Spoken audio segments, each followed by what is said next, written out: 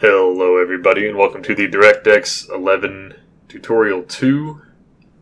In this tutorial we are just going to cover some more setup things, um, but not in the project setup, in our code setup. So first we are going to make a string converter class. So let's go ahead and make a new header. We are going to call this string converter.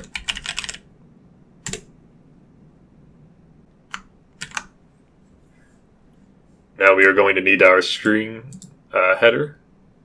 Class is just going to have one public function for now. We might add more later. It's going to be a static function because this class will actually act as a singleton. We won't need to instantiate this class to use it as, as all it is is just a converter. There's no reason for us to instantiate it. The only function we are going to have for now is going to convert a string to a wide string.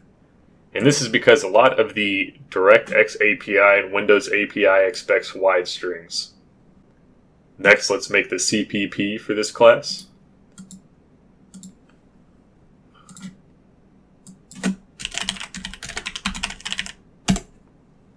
Alright, and it's actually very easy to convert strings to wide strings. Wide string has a constructor where we can just take in the begin iterator and the end iterator for the string and it will construct the wide string and return that. Next, we need to make a class for logging our errors. Let's create a new header file. We're going to call this class errorlogger.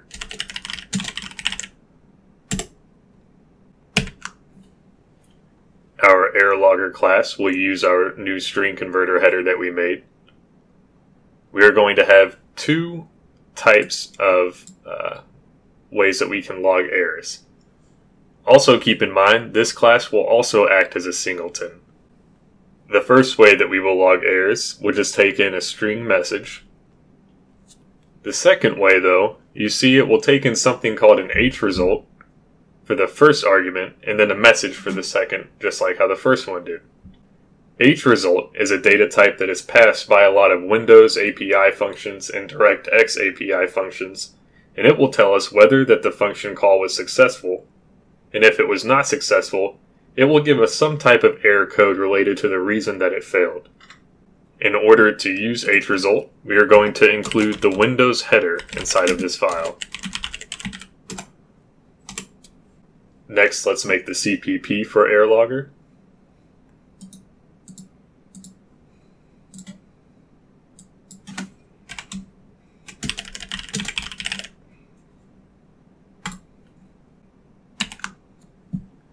Alright, and you see that I also have another header up here called comdef. Comdef will be used for our com_err data type, and we will get to that in just a moment. First, let's look at the first log function that we've made.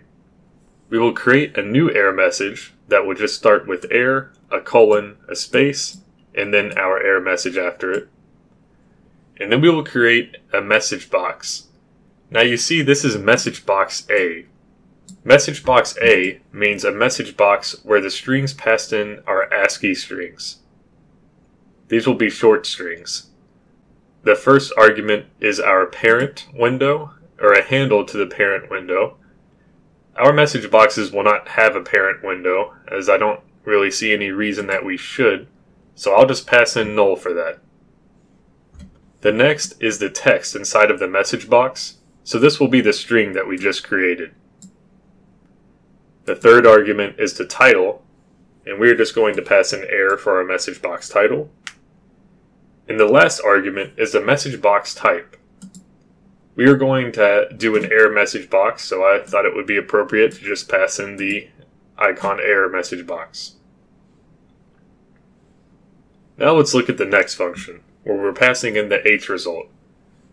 We're going to create a com_err variable and the constructor for this takes an H result.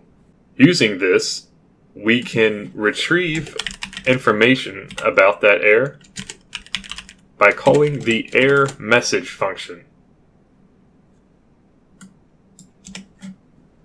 Now you see we are using a wide string when we construct this error message. The reason is because the error message function that we call on com_err will return a wide string.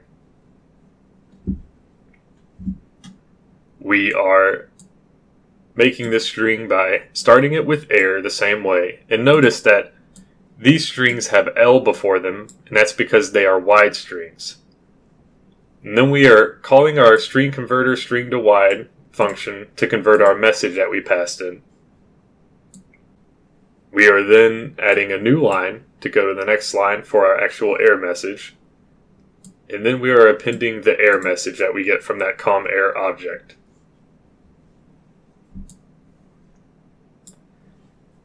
And for the message box, you'll see that we are uh, doing a message box with wide strings, and that's why it ends with W. And all the other arguments are passed in the same as our previous message box. So if we go back to our source.cpp, let's remove where we are including Windows, since Windows is included in the error logger, and let's just include the error logger. One example of uh, an H result is SOK. Now this means it was successful and it ran okay. There was nothing, you know, to note about it. So let's just try calling uh, our error logger and passing that in.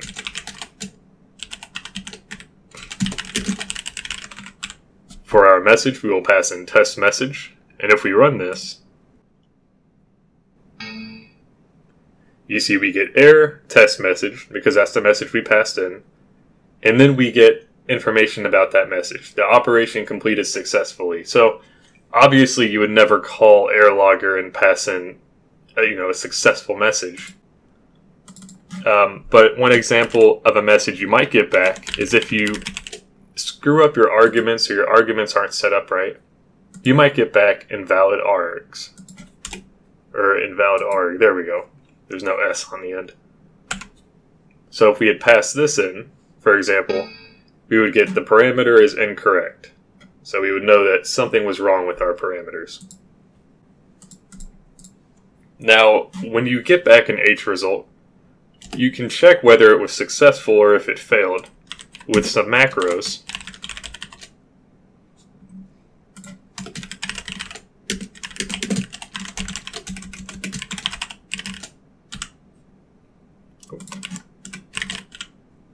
So for example, let's say I have this H result.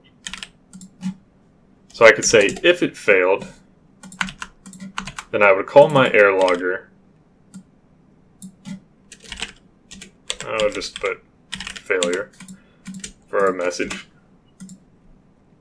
And then if we run that, we should get the message box since that is a failure um, H result. However, let's say that we had SOK, which is success, it's not a failure then we should get no message box when we run it this time. Okay, and the program ended, we did not get a message box. If instead you want to check if it's successful, there's also if succeeded. So if it was successful, pass in a message box, success. Change that to ASCII.